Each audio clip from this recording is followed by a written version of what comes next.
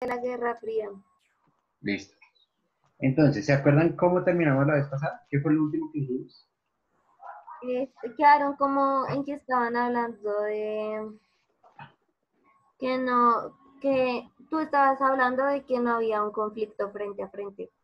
Ah, sí, de por qué la guerra Y fría. de, y de los com- y del- como los comentarios crueles de que no hay calor térmico y bla bla bla. Es, es que son rabones, ¿cierto? La gente es muy rata. Sí, sí.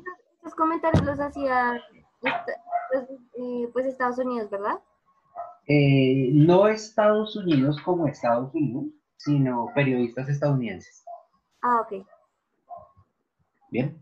Ok. Uy, donde lo hiciera Estados Unidos sería... Es que lo más feo, lo más feo es que lo diga un periodista, o sea, Sí, es... es rabones, son rabones. En serio, nosotros somos, como especie, somos una cosa horrible. Bien. no tampoco. Sí. Aceptemos, somos horribles. Bien, entonces, no. como les había dicho la vez pasada, vamos a darle la vuelta a la torta y vamos a saltar el charco. ¿sí? Vamos a pasar de lo que fue Europa entre eh, 1900 y 1950 a lo que fue Colombia entre 1900 y 1950. ¿Por qué? Porque eh, Colombia no participa en las guerras mundiales, o sea, su participación no es lo suficientemente grande como para que tengamos un- una relevancia en estos sucesos. Lo que va a pasar después, todo lo que va a ser la Guerra Fría y todo eso, eso sí nos va a dar a nosotros duro. Pero lo que pasa entre mil- 1900 y 1950, lo sentimos, lo sabemos, lo conocemos, pero nosotros estamos metidos en otro cuento completamente diferente. ¿Alguien se acuerda más o menos qué es lo que sucede en este momento histórico entre 1900, y- entre 1900 y 1950 en Colombia? Mm, sí, no, no sé. ¿No? ¿Ninguno? No, no. Profe, ¿puedes repetir, eh, repetir, por favor? Es que se te entrecorta un Em, poquito. Ay, Si no estoy mal, una, no, no, creo que estoy mal, eh, la una dictadura, creo. no. Quizás Bueno, la formación de los dos lados. ¿la qué? ¿Cómo? Conservadores, ¿no? ¿La de qué? pronto. Lo de liberales y conservadores, ¿no? Como esos. Bien, nosotros acabamos de tener un conflicto. Y la dictadura, ¿no? De Rojas Pinilla, creo. Eh, creo que la dictadura de Pinilla es a finalizar los 50, como en el 40 y algo. 30 y algo, listo, 40 y algo. Qué pena, profe, qué pena. No, Profe. sí, sí, o sea, sí está acá metido. Dímelo. En ese tiempo no es la patria boba. No, te, Es saltaste, Hace 100 años y más. te Uy, saltaste algunos cuantos años. La patria boba es 1816. Entonces, no, no, no, no, no, está bien. Bien. Entonces, eh, conflicto partidista. Bien, nosotros en Colombia entre 1900 y 1950 vamos a vivir uno de los momentos, de los primeros momentos, porque es que los hemos tenido todos, de conflicto en, en nuestro país. ¿sí? Entonces, vamos a, a retroceder un poquito, un poquito, un poquito largo. un po- vamos a retroceder un poquito como hasta 1853, ¿sí? Para entender qué es lo que pasa acá en este conflicto partidista. Yo, lo- yo voy a pasar por esto muy rápido porque se supone que ustedes ya lo vieron. ¿Listo? ¿Claros? Y Entonces, es, Y es. Ok. En 1853 Colombia va a vivir una cosa que se va a llamar las reformas liberales. O- ok, ¿se acuerdan cuáles son los dos partidos que están metidos en, este, en estas guerras, no? liberales y conservadores. Ok. bien. Entonces, en 1853 van a haber una- un gran proceso de reformas liberales. Tenemos que tener en cuenta que una de las más, uno de los más grandes logros de estas reformas liberales fue eh, la libertad. para los esclavos.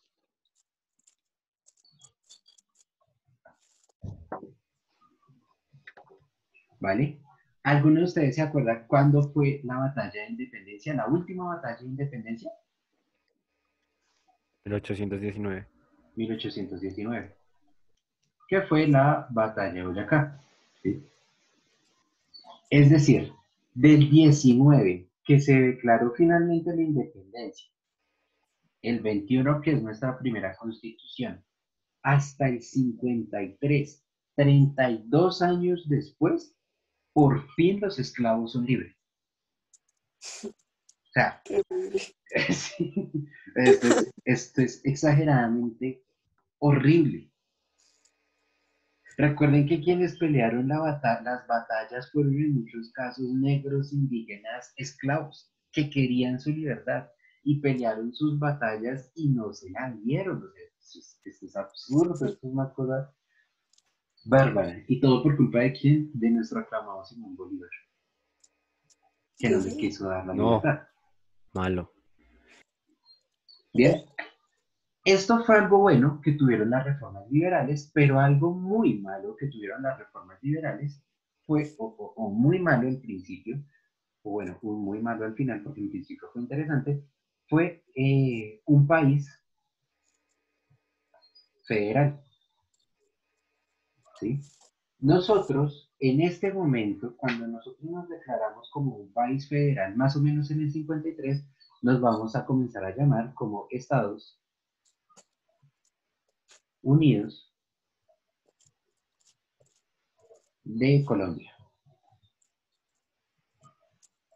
¿Sí? Nosotros en algún momento fuimos Estados Unidos, para que lo tengan claro. ¿Listo? ¿Se acuerdan de esto? Sí, ¿Sí? De, los, es- de los Estados Unidos de Colombia. Bien. Estos Estados Unidos de Colombia van a tener un problema prácticamente desde su inicio y es que se van a enfrentar hacia dos cosas. Hacia guerras internas, no, no, no, no, no, no guerras, conflictos internos.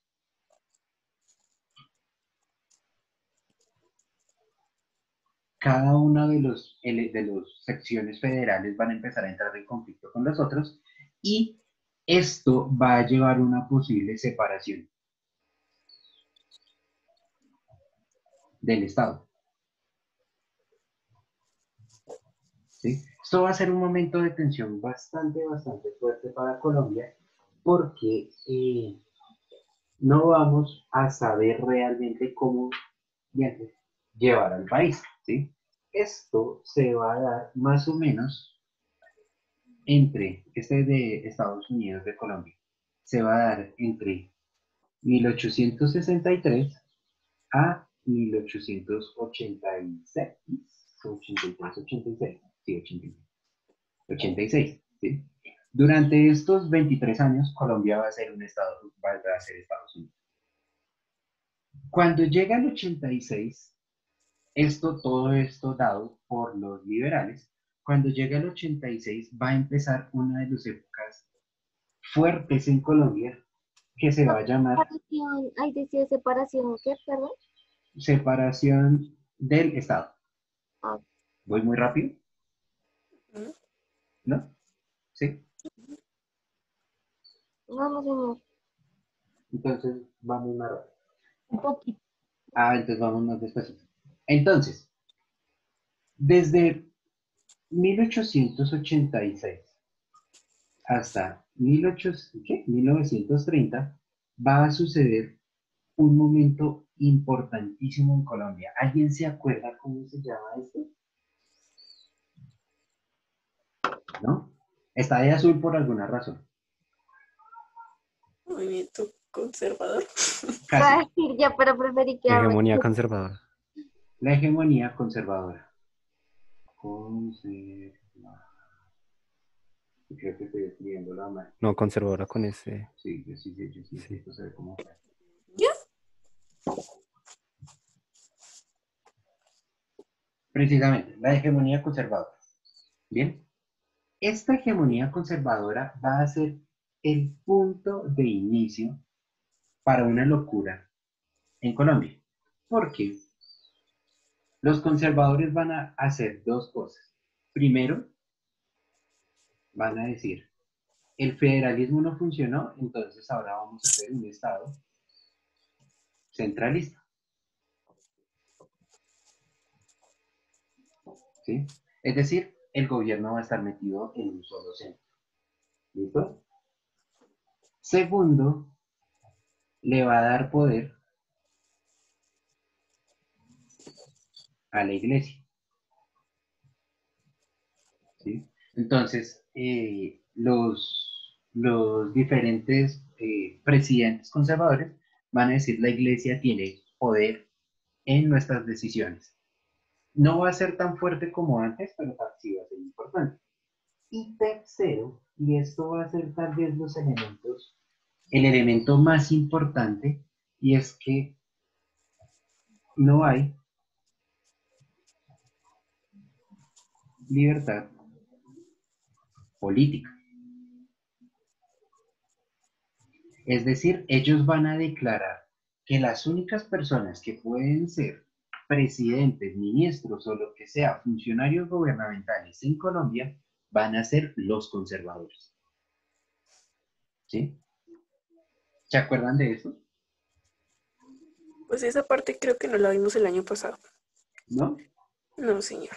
Estamos hablando así muy, muy general, porque es que obviamente si está en 1800, 1930, pues esto ya hace parte de, de 1900 a 1950. ¿sí? Acá, todo esto va a generar algo muy grande para el resto de Colombia y es, ¿y los liberales?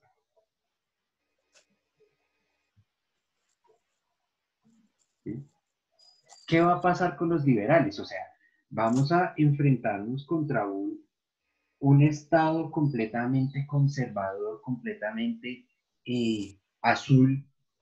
Y recuerden que estos conservadores van a ser representados en la mayoría de su tiempo por la... Esto es, esto es más una representación que una realidad, pero es una representación muy válida. Y eso va a ser lo que nosotros conocemos como la oligarquía. ¿Qué, qué querrá decir eso? No tengo la más remota idea. Pero eran como los, los altos jerarcas de las empresas, los que tenían dinero, todo este tipo de cosas. ¿Sí? ¿Sí? ¿No? Sí. Sí. Los liberales, por otra parte, iban a representar a lo que no era la oligarquía, ¿sí? A los trabajadores. Esto va a ser una representación que se va a mantener entre conservadores y liberales toda la vida. ¿sí? Se va a romper hasta más o menos el año 2000, pero de resto, liberales son trabajadores, conservadores son oligarcas, burócratas, eh, ¿cómo, cómo- cómo más es que se les dice? Eh, banqueros. Tiene otro término despectivo, pero no lo iba a decir. ¿Listo? Juan Madres. Perros. Perros. Yo siendo re decente. Perros bandidos, parce. Ah, bueno, usted- ustedes han comido de cachiporro. ¿Saben qué es un cachiporro? Sí sé que No. es ¿Cómo se fuma o qué? ¿No? Un cachiporro es un, un postre, es que realmente no sé cuál es el nombre real, que es un postre así circularcito, acá adentro tiene como, como arequipe y otra vez acá abajo. ¿No? ¿No, comido liberales? Ah, Sí, eso, eh, eh, Sí, el liberal, el, el se rojo. llama liberal. ¿Cierto? Liberal, claro. Se Exactamente, liberales, Me encanta cómo habla Camila. El rojo. liberales o cachiporros. Estas vainas se llaman liberales y solamente se llaman liberales aquí en Colombia por ser rojos. ¿sí? Mm. Y a los liberales se les decía de, eh, de tono despectivo cachiporro. Uy, desgraciados. Ush, ush. No sé Pero, qué profe- quiere decir cachiporro. Profe, Dime. y los liberales tienen, o sea, aparte de eso, tienen algo como, por así decirlo, malo. ¿Los liberales? ¿Cómo así? Sí. Lo que pasa es que, pues, siempre que uno habla como de liberales y conservadores, bueno, digo como por la mayoría, ¿no? Se supone que los liberales son los buenos, entre muchísimas comillas, y los conservadores los malos. Profe, Entonces, ¿hay algo como malo o despectivo de los liberales? Ya te digo. profe, pero digamos, o sea, es que siempre se ha planteado como que un partido conservador, o sea, hablando ya a nivel mundial, eh, un partido conservador es como representando lo psicorrígido de algo, ¿no? Y, Sí. lo- y pues lo liberal, pues ya, pues como su nombre lo dice, dándole un poco más de libertad al pueblo de... O algo así, o, sea, creo, Creo que eso la me dijeron. perspectiva de bueno y malo es depende de lo que Sí, uno es- sí, por eso. Por ejemplo, Sí. lo que Luna dice es como que, no, me imagino que la familia de Luna es un poco más liberal para pensar que los liberales son buenos y los conservadores malos. Y la familia conservadora es un poco más conservadora para pensar que los conservadores son buenos y los liberales malos. Sí, Ajá. realmente, realmente vean, en esta colada no se salváis nada. ¿Sí? Los conservadores tienen la mala fama de ser el origen de las autodefensas. De las primeras autodefensas, no las convivir de Uribe y lo que vienen después, no. Estas autodefensas, los conservadores tenían un, no, no tenían, porque eso quería decir como que el partido conservador, no. Habían unos miembros conservadores que eran los chulavitas. ¿Sí? Los chulavitas eran los que se encargaban de asesinar liberales. Huyendo de los ¿Ahorita chulavitas, qué es? esto es, digamos, un asesino político. Y mata ¿Un liberales. sicario? Un sicario. Ah, ok. y mataba liberales. Los liberales, huyendo de eso, se van a armar, van a tomar las armas y se van a meter al monte para alejarse de los chulavitas, y ahí es cuando van a surgir la FARC, el EPL y el ELN. ¿Sí? Curioso. Entonces uno dice, ok, ¿quiénes eran los buenos? a final de cuentas, o los paramilitares, o los, a las FARC, ¿no? Profe, señora. ¿te has dado cuenta de que Colombia tiene- es muy creativo para los nombres? ¿Cierto? Y, y ustedes se ponen a ver, se ponen a ver eh, esto para saber quién es de las autodefensas, es porque es un alias. Cosa, ¿sí? O sea, alias un objeto. Y para saber qué es de las FARC, es porque es alias, alias, alias, alias, animal. No, creo que era al revés. Creo que era estos, los alias son de animales. Y estos alias cosas. O sucesos o cosas por el estilo, ¿sí? Entonces, tiro fijo, eh, eh, todo ese tipo de vainas vienen relacionados con las FARC. Y el resto que son de animales ¿Cómo? parecen relacionados con las autodefensas. Eso tiene una, aquí una cosa. ¿Cómo así? ¿Cómo? Repite, repite. El mono, el mono jojoy, profe, el mono Pero jojoy. sí, esto estaba Mono. pensando. Está el mono. No, sí, así era. Los animales vienen de acá y las cosas vienen de acá. Ay, no. Alias piruleta, alias Como chingo. todo ese tipo de cosas vienen de las autodefensas y los otros vienen de- Bonitas esas personas. Pero bueno, Es invisible. Me estoy desviando. Alias cigarra. A- alias patecabra. Alias pata de cabra. Chimba. Bien. Sean serios. Entonces, entre 1886, volvamos acá, y esto va a ser 1899. Tampoco es que- solamente 13 añitos no se aguantan de nada. Nosotros nos hemos aguantado Uribe como 16. Sí, creo. Entre 1886 y 1899 va a haber un suceso que va a hacer que la hegemonía conservadora va a estar en su apogeo, pero estos conservadores se van a dividir en dos partes. ¿Qué van a hacer? Los conservadores, digamos, los históricos y los conservadores, se me olvidan el, otro nombre, eh, digámoslo no históricos. ¿sí? ¿Qué va a pasar? Estos van a ser los que van a decir, no, entendiendo la historia de América y de Colombia y de todo eso, nosotros tenemos que permitir, ¿sí? Los liberales.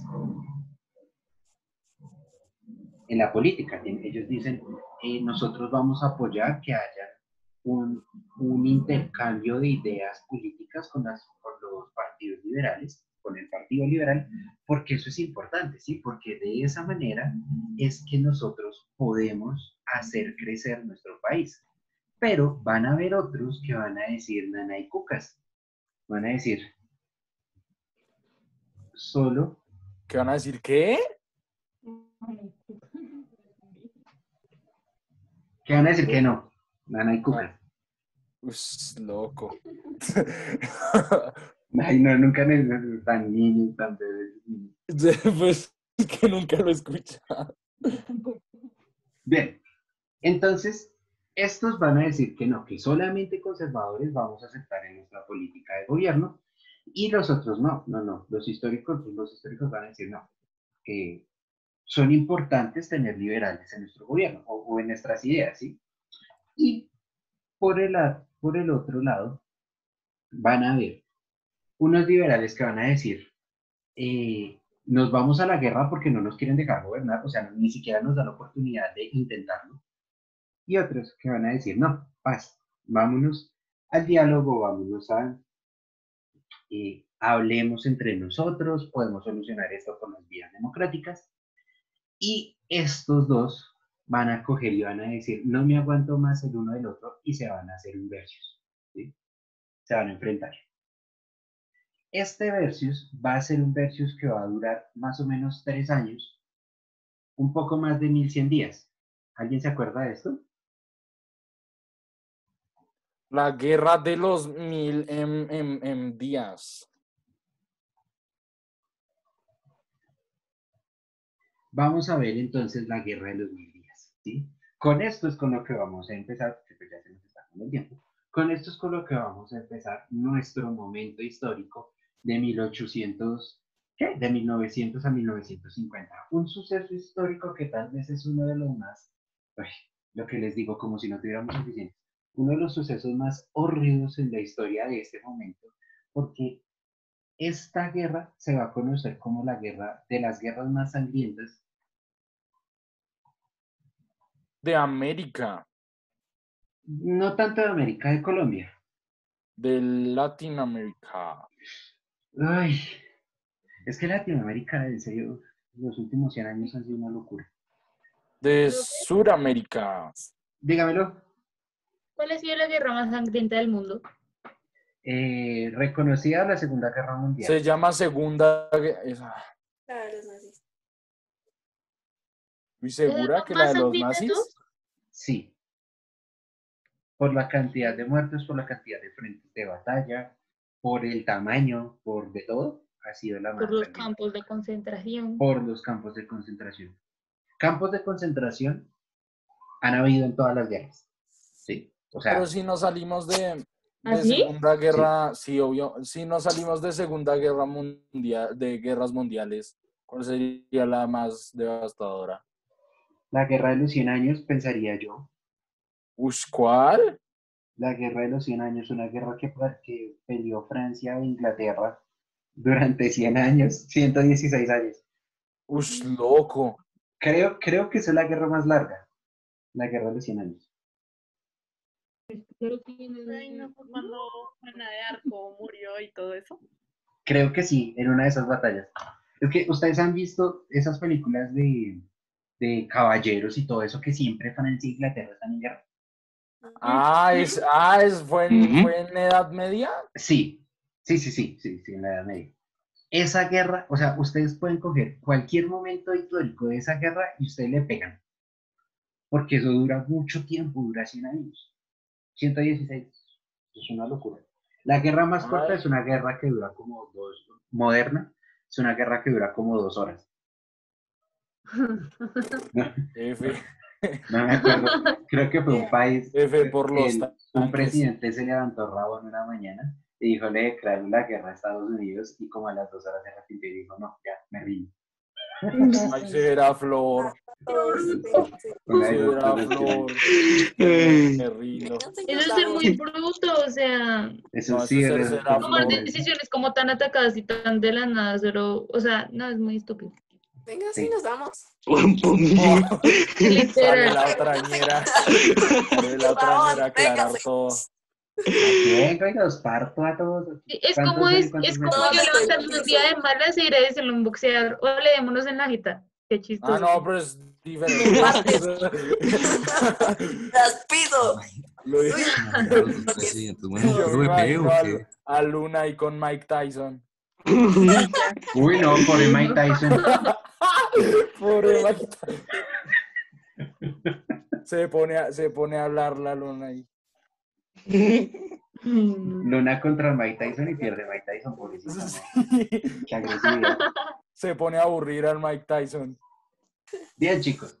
Hasta acá. Esto es, esto es una antesala de todo lo que va a pasar. Créanme que uno dice, o sea, lo que voy a decir, entiéndanlo en el campo académico. Uno dice, Colombia no tiene sucesos interesantes, pero esta parte de la historia de 1900 hasta hoy, esto es una locura en Colombia. Ustedes no se alcanzan a imaginar las cosas que suceden acá. Porque aquí, aquí vamos a tener de todo. O sea, esto va a ser una, un reality show, una cosa bárbara. Como Tristemente- no, with the Kardashians. Sí, un- algo así. Uy, entonces iba a ser bueno. Bien, entonces ya saben, vamos a iniciar con la guerra. ¿Algo que decir? pregunta. Dímelo. No, ¿Puedes subir el tablero un poquitico? Es que no alcancé a, tocar- a copiar algo. Ay, mamita. Gracias. Ay, por llegar tarde. Espere, bro, que llegué tarde. Bien, entonces, me hace falta. Santiago llegó. Nel Pastel. Eh, Sofía, Sofía sí llegó. Sofía ya la ¿cierto, Sofía? Sí, profe. Ah, bueno. Eh, Marcela, ¿llegaste? Nel Pastel. Y, y, y María José. La Josecito está cumpliendo años, profe. ¿Qué está comiendo? Ay, ¿qué- ¿qué está comiendo a estas horas? Debe estar abriendo los regalos. Ay, toda feliz, paz. Sí será excusa, ¿no? Es que estoy cumpliendo años. Ah, yo hice eso. Ah, eso. A mí sí me quieren. Mentira. ok. Bueno. Entonces, chicos, ¿algo más que decir? ¿Algo que comentar? No, profe, que gracias, señor. está interesante el tema. Espero profundizarlo bien. Hay, hay momentos que yo no quisiera trabajar. porque me ganas de llorar. Ay, profe. Vean, no, no, no para que lo lean, solamente para que sepan que existe. Hay una cosa que se llama el... Ay, se me el nombre del documento. Eh, eh, informe, informe para la memoria histórica de las víctimas de, Palacio de Justicia. Yo en algún momento, no lo leí todo porque es muy largo, son como 800 páginas, pero la parte de las víctimas, bien, uno lo tiene que leer de a tres páginas por día, porque lo que sucedió allá es una cosa espantosa, fuerte, fuerte, fuerte, y nosotros los procesos de guerra y de locuras que han marcado nuestro país han sido dolorosísimos, dolorosísimos. Muchas veces uno dice, ah, es que ya después del 2000 la cosa bajó. Querrámoslo no, gracias a Uribe. Hmm. Pero antes del 2000, uff, eso fue una cosa espantosa. Y que conste que no soy uribista, pero a veces algo que dices. Bien, entonces chicos, los dejo por Disque ahí. profe uribista. Ah, Uy. profesor, profesor uribista. Profesor uribista, eso es la peor. Uy, no, ser profesor y uribista. Cantándonos ya, ideas, mis Pero respetos. la combinación. ideas uribista, profesor. sabía. Uribista, profesor. No me metas ideas. Uribista, profesor. Uribista, profesor y filósofo. No, No. me muero de hambre. Se explota. Sí, ¿Eso sabe, ¿Eso sabe dónde lo contratan? Ahí a recoger basura, Rey Melo. Ash, ah, Perdón. Ok. Tú también te quiero, Sam.